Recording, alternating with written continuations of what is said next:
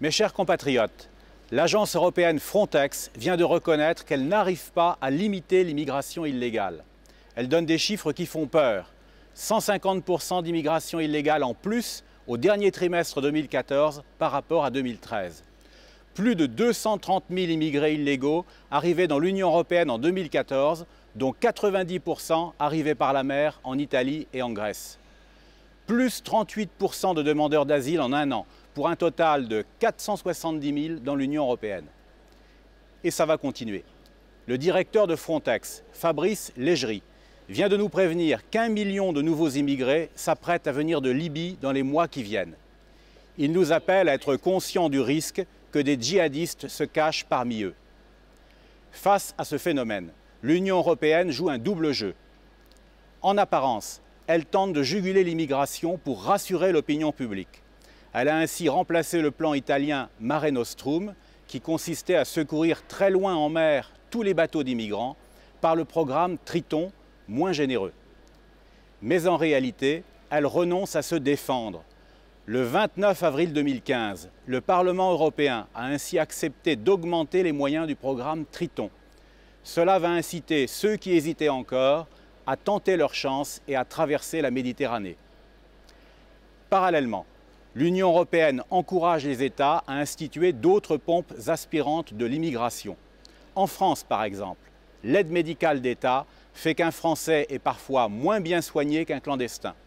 Et les demandeurs d'asile y jouissent d'une priorité d'accès au logement par rapport aux Français dans la précarité.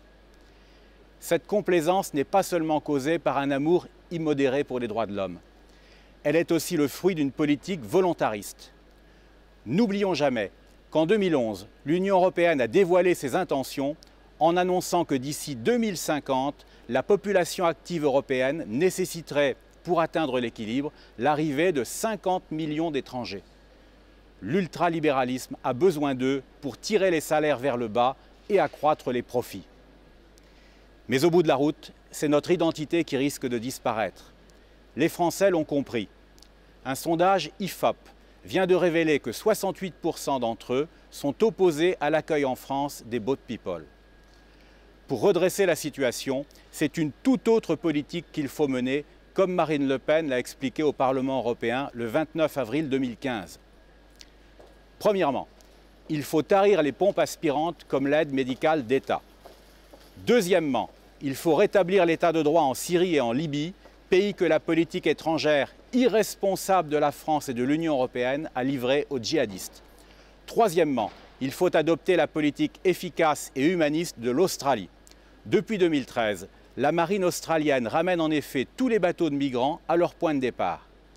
Quant aux étrangers qui ont besoin de protection, ils sont dirigés vers le Cambodge que l'Australie paye pour les accueillir.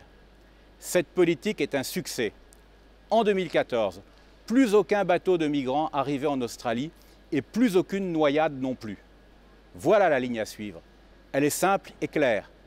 Mais pour la prendre, il faudra d'abord que les États européens retrouvent leur souveraineté.